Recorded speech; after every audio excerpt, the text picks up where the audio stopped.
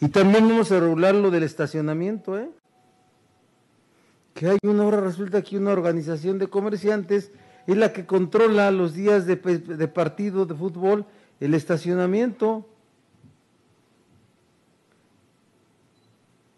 Algún corrupto de los políticos de otros gobiernos seguramente le dieron ese, esa canonjía y llegan y se apoderan los de una organización de comerciantes.